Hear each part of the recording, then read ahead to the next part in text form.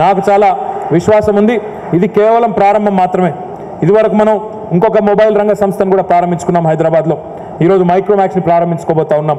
ఇదే ఈ సిటీలో గతంలో ఎన్ని ప్రయత్నాలు చేసినప్పటికీ పెద్దగా ఇక్కడ ఫెసిలిటీస్ గతంలో పెద్దగా కంపెనీలను మనం అట్రాక్ట్ చేయలేకపోయినాం.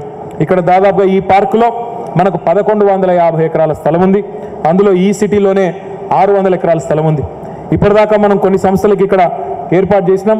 వాళ్ళందరికీ కూడా ఇక్కడ అవకాశాలు ఇచ్చినాం. మైక్రోమాక్స్తో పాటుగా ఇతర సంస్థలకు కూడా. కానీ ఇక్కడ చాలా మంచి సౌకర్యాలు కూడా కల్పించబోతా ఉన్నాం.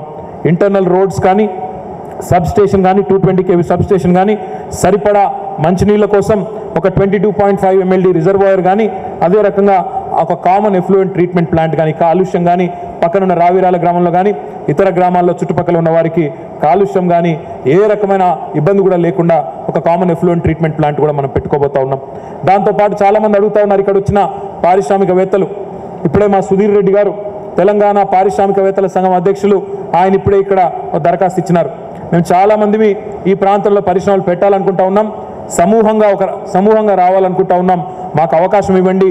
కానీ ఇక్కడ పనిచేస్తున్న కార్మికులకు డార్మిటరీ లాంటి వ్యవస్థను కూడా ఏర్పాటు చేయండి అని చెప్పి కూడా వారు కోరడం జరిగింది. తప్పకుండా ఆ దిశగా కూడా ప్రభుత్వం పనిచేస్తుంది. మీ అందరికీ కూడా ఇక్కడే మీరు ఇక్కడే అందుబాటులోనే దగ్గరలోనే నివాసం ఉండే విధంగా కూడా ఏర్పాట్లు చేయడానికి కూడా ప్రయత్నం చేస్తామని చెప్పి కూడా మీకు తెలియజేస్తా ఉన్నాను. దాంతో పాటుగా ఈ ప్రాంతంలో నివాసం ఉన్న వాళ్ళకు సహజంగానే ఇక్కడ డెఫినెట్గా మీకోసం షాపింగ్ ఏరియాలు కానీ రెస్టారెంట్లు కానీ హోటళ్ళు కానీ ఇవన్నీ కూడా ఏర్పాటు చేయాల్సిన అవసరం ఉంటుంది. ఔటర్ రింగ్ రోడ్ చుట్టూ కూడా మనం ఒక గొప్ప ప్రణాళికను కూడా రూపొందిస్తూ ఉన్నాం. అవుటర్ రింగ్ రోడ్ చుట్టూ దాదాపు పదమూడు చోట్ల మనం కొత్త అర్బన్ సెంటర్స్ కూడా అర్బన్ నోడ్స్ కూడా ప్రారంభించబోతా ఉన్నాం. ఇందులో తప్పకుండా భవిష్యత్తులో రాబోయే నాలుగైదేళ్ళలోనే మాల్స్ వస్తాయి హాస్పిటల్ వస్తాయి విద్యా సంస్థలు వస్తాయి హోటళ్ళు వస్తాయి. అన్ని రకాలుగా కూడా అవుటర్ రింగ్ రోడ్ చుట్టూ ఈ పదమూడు పాకెట్స్లో రేపటి కొత్త హైదరాబాద్ను ఇక్కడే ఆవిష్కరించబోతా ఉన్నాం. ఇక్కడే కొత్త హైదరాబాద్ కూడా డెవలప్ కాబోతా ఉందని చెప్పి కూడా నేను మీకు తెలియజేస్తా ఉన్నాను. మన టీఎస్ ఐపాస్ ఇప్పటికే వేణోళ్ళ ప్రశంసలు పొందుతున్నప్పటికీ కూడా మనం ఇంకా చాలా కార్యక్రమాలు ఇందులో వినూత్నమైన కార్యక్రమాలు కూడా మనం ఇందులో రూపొందించడం జరిగింది. ఈ విషయం దయచేసి మీడియా మిత్రుల ద్వారా మన రాష్ట్రంలోని దేశంలోని పారిశ్రామికవేత్తలందరికీ కూడా చేరాల్సిన అవసరం ఉన్నది. గతంలో ఒక పరిశ్రమకు అనుమతి కావాలంటే ఎన్నో రకాల ఆటంకాలు ఉండేది. గతంలో ఒక పరిశ్రమకు అనుమతి రావాలంటే కింది నుంచి పైదాకా ఎన్నో రకాల మరి లంచాలు ఎన్నో రకాల ఇబ్బందులు. అందులో కూడా మళ్ళీ టైంకి వచ్చే పరిస్థితి లేదు. కానీ ఈరోజు టీఎస్ ఐపాస్ వచ్చిన తర్వాత గతంలో ఎక్కడైతే మరి పదుల చుట్టూ ఆఫీసులు తిరగాల్సిన పరిస్థితి ఉన్నదో ఈరోజు ఒకే ఒక్క ఆన్లైన్ అప్లికేషన్ ద్వారా ఒకే ఒక్క ఆన్లైన్ పోర్టల్ ద్వారా ఈరోజు బ్రహ్మాండంగా మొత్తం అన్ని గవర్నమెంట్ డిపార్ట్మెంట్లకు సంబంధించిన కార్యక్రమాలను అనుమతులను అనుసంధానం చేసి అతి తక్కువ టర్న్ అరౌండ్ టైంలో అతి తక్కువ టర్న్ అరౌండ్ టైంలో ఈరోజు మనం అనుమతులు ఇస్తూ ఉన్నాం. ఒక సింగిల్ హెల్ప్ లైన్ నెంబర్ను కూడా ప్రారంభించినాం seven three zero double six double zero six double zero పేరిట పరిశ్రమల కోసం వారికి ఏ రకమైన ఇబ్బందులు ఉన్నా ఇందాక రాజేష్ అగర్వాల్ గారు ఒక మాట చెప్పడం జరిగింది. ఇక్కడ వారు ఈ కార్యక్రమాన్ని ఈ ఫ్యాక్టరీని ప్రారంభించాలనుకున్నప్పుడు ఇక్కడ వారికి ఆనాడు మొట్టమొదటి రోజు కరెంటు అనుమతులు లేవన్నారు. ఒక్క ఫోన్ మనకి ఇక్కడ మన టీఎస్ఐఐసి ఎండి గారికి చేస్తే నాలుగు గంటల్లోనే మొత్తం ఆ బండి కూడా వచ్చి ఎక్కడ పెట్టమంటారో చెప్పండి అని చెప్పి వారు ఆనాడు వచ్చినారని చెప్పి కూడా వారు ఇప్పుడే చెప్పడం జరిగింది. అంటే ఈ రకమైన కార్యక్రమాలు దేశంలో ఏ రాష్ట్రం కూడా చేయడం లేదు. దీని అంతటిని కూడా కలిపితే ఈజ్ ఆఫ్ డూయింగ్ బిజినెస్ అంటారు. అంటే ఎంత ఈజీగా ఒక కొత్త రాష్ట్రంలో పరిశ్రమ ఏర్పాటు చేయవచ్చు అనేది చాలా కీలకం.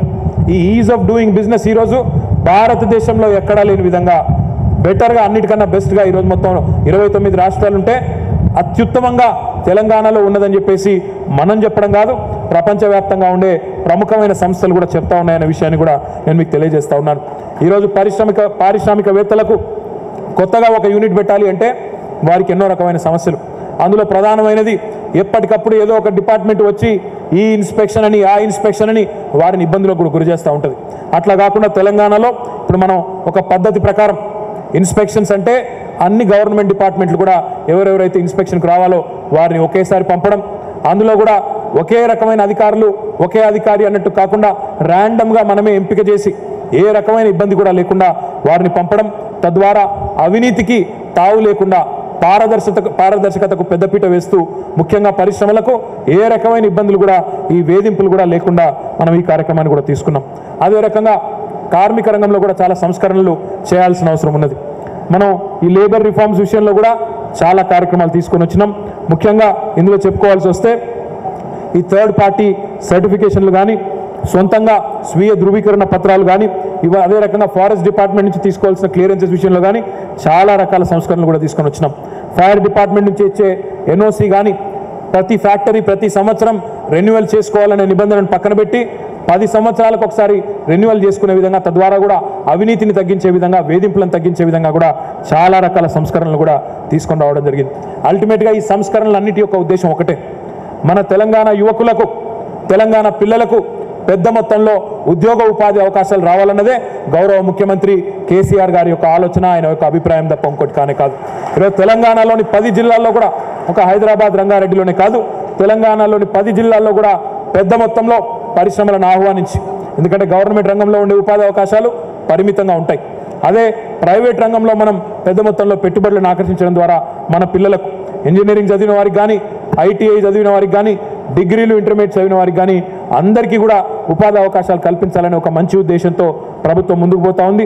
ఇట్లాంటి పురోగమన ప్రగతిశీల విధానాలతో మనం ముందుకు పోయే క్రమంలో మొత్తం దేశం కూడా మనల్ని అభినందిస్తూ ఉంది. తప్పకుండా ఈ క్రమంలో మరిన్ని మొబైల్ మ్యానుఫ్యాక్చరింగ్ సంస్థలు రాజేష్ అగర్వాల్ గారు ఒక ముఖ్యమైన మాట అన్నారు. ఇది కేవలం అసెంబ్లీ లైన్ మాత్రమే మ్యానుఫ్యాక్చరింగ్ లైన్ మాత్రమే. కానీ బ్యాక్వర్డ్ ఇంటిగ్రేషన్ లేకుండా రీసెర్చ్ అండ్ డెవలప్మెంట్ లేకుండా ఏ పరిశ్రమ అయినా కూడా పూర్తి స్థాయిలో మరి వృద్ధిలోకి వచ్చే అవకాశం ఉండదు बैकवर्ड इंटीग्रेशन की आपने जो बात किया R and D centre develop लगाने की जो आपने बात किया इसकी पूरी तरह से हम मदद देंगे आपको जैसा आपने छः महीने के अंदर रिकॉर्ड टाइम पे यहाँ पे माइक्रोमैक्स का प्रोडक्शन फैसिलिटी आपने चालू किया हम आपको आश्वासन देते हैं कि आपको जल्द से जल्द लैंड भी देंगे और हम उम्मीद करते हैं कि आप रिकॉर्ड टाइम में आर एन डी फैसिलिटी भी हैदराबाद में आपका ज़रूर चालू करेंगे मैं आपसे వినతి కర్తవ్యమే. మళ్ళీ ఒకసారి మీ అందరికీ కూడా హృదయపూర్వకంగా శుభాకాంక్షలు తెలియజేస్తూ రంగారెడ్డి జిల్లాలో మరి ఈరోజు కొత్తగా స్థానిక యువకులకు స్థానిక యువతులకు నేను దాదాపుగా ఒక యాభై అరవై మందితో అందులో పనిచేస్తున్న పిల్లలతో ప్రత్యక్షంగా మాట్లాడడం జరిగింది. ఏం చదువుకున్నారు? ఏ ఊరు? మీ ఏ మీరు మీ నేపథ్యం ఏందని చెప్పి కూడా తెలుసుకోవడం జరిగింది. చాలా సంతోషించదగ్గ విషయం ఏంటంటే మొత్తంగా ఈ చుట్టుపక్కల ఉండే విలేజ్లు రావిరాల కానీ జల్పల్లి కానీ లేమూరు కానీ ఇంకా చాలా చుట్టుపక్కల ఊర్ల నుంచే చాలామంది పిల్లలు స్థానికులే పెద్ద మొత్తంలో ఐటీఐ టెన్త్ చదువుకున్న పిల్లలు ఉద్యోగాలు చేస్తూ ఉన్నారు. వారందరికీ కూడా మరి శుభాకాంక్షలు తెలియజేస్తూ మైక్రోమాక్స్ యాజమాన్యానికి మన పరిశ్రమల శాఖ ముఖ్య కార్యదర్శి అరవింద్ కుమార్ గారికి వెంకట నరసింహారెడ్డి గారికి తీగల కృష్ణారెడ్డి గారికి పట్నం మహేందర్ రెడ్డి గారికి అందరికీ కూడా శుభాకాంక్షలు తెలియజేస్తూ జై హింద్ జై తెలంగాణ.